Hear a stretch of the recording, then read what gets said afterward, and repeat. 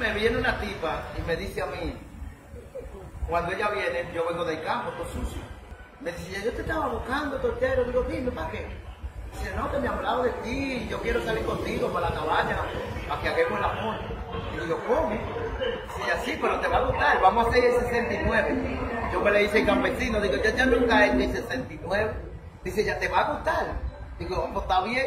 Dice, ya te va a gustar porque yo voy a poner la cosa mía en la boca tuya y tú vas a poner la cosa tuya en la boca mía. Digo yo, ambos si es así, sí.